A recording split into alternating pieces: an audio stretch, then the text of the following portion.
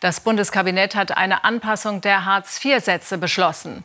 Vom Januar an werden die meisten Bezieher der Grundsicherung drei Euro mehr bekommen.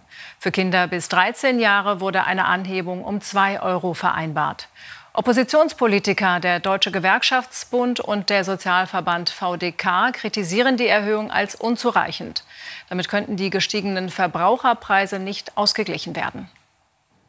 Rentner Ralf Axel Simon muss derzeit mit 446 Euro Grundsicherung pro Monat auskommen, auf jeden Cent achten. Die geplanten 3 Euro mehr pro Monat ab kommendem Jahr freuen ihn nicht. Es ist ja deutlich schlechter geworden, das Leben, weil äh, alles teurer wird und nichts billiger.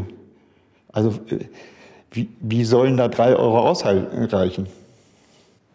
Drei Euro mehr für Hartz-IV-Empfänger hat heute das Kabinett beschlossen. Der Regelsatz für Alleinstehende steigt damit auf 449 Euro.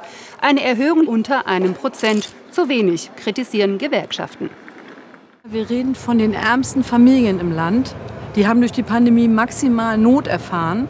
Und jetzt kommt eine Erhöhung, die gar keine ist. Und äh, da sagen wir als CGB, das darf so nicht passieren. Die müssten tatsächlich real mehr Geld in der Kasse haben. Drei Euro mehr reichten auch nicht, um die höheren Lebensmittel- und Energiepreise aufzufangen, kritisieren Sozialverbände. Die Inflation derzeit knapp 4 Prozent sei nicht berücksichtigt. Als Berechnungsgrundlage diente die zweite Jahreshälfte 2020. Damals waren die Preise noch niedriger wegen der gesenkten Mehrwertsteuer. Man habe nicht anders rechnen können, heißt es aus dem Sozialministerium. Wir haben eine gesetzliche Grundlage, da gibt es keinen Entscheidungsspielraum für das BMAS äh, über die Höhe der jährlichen Fortschreibung zu entscheiden.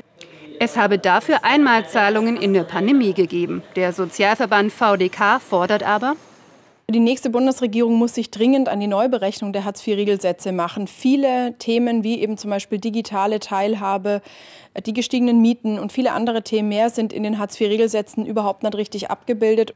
Aber die höheren Preise werden erst 2023 in die Hartz-IV-Sätze eingerechnet.